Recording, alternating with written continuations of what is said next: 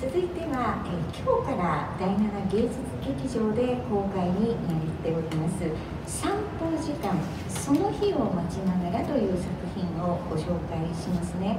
これはあのコロナ禍で突然普通の生活が奪われて辛い思いをしたけれど大切なことにも気づけたそう思えれば幸せな大事な時間だったかもしれないっていうような作品なんですよね。やっぱりあの人生って何も無駄な時間はないんだってよく言われますけれどもこれまでとこれから自分の人生を立ち止まって考えてみる。これを今を散歩時間だと思ってご覧になっていただくとなんかすごくね見終わった後にああなんか分かるな。なんか自分も頑張って生きようっていうそういう気持ちになれる。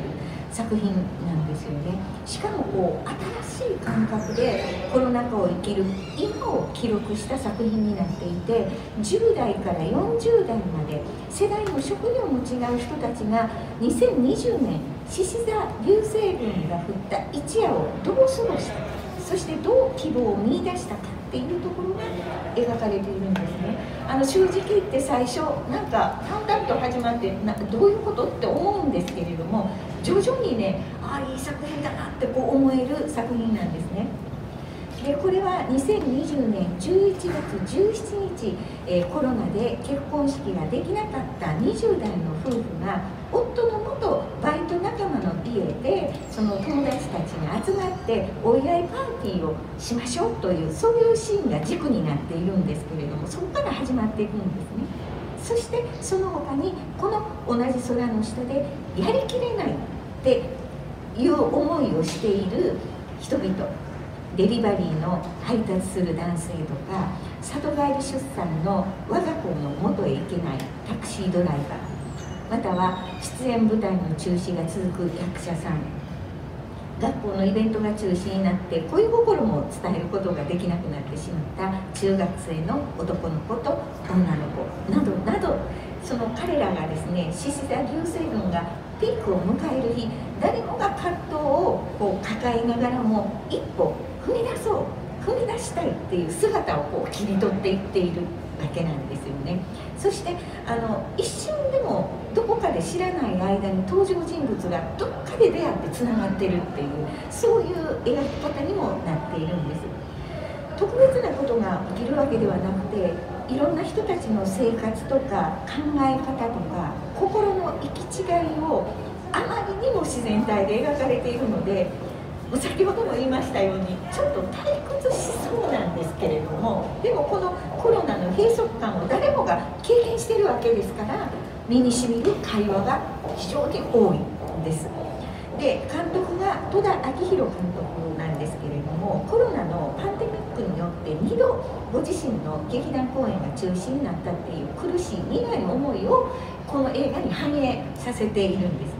でキャスティングの方は全てオーディションで選ばれておりまして最終的に決定した役者さんのイメージに合わせて脚本を当て書きするっていう作り方。ちょっと珍しいんじゃないかなと思います。で出演はあーこうや優子の天秤生真面目楽団のぼんやり戦争など全部あの私紹介してきましたけれどもインパクトの強い人間ドラマに出演してきた前原光さんなんですね。それからリップ版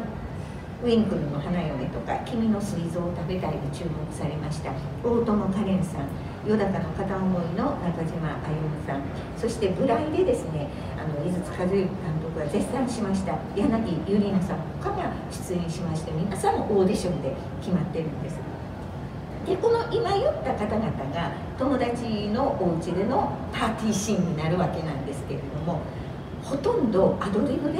台本上のセリフはあるんですけれどもリアクションにはその後に続く会話っていうのは自由に演じてもらってるっていうことで信じられませんでした。結構皆さん悩んでるしもがいてるなっていうセリフが多かったのであそれをそのまま皆さんとしてらっしゃるのかなって思ったりもしてびっくりしました。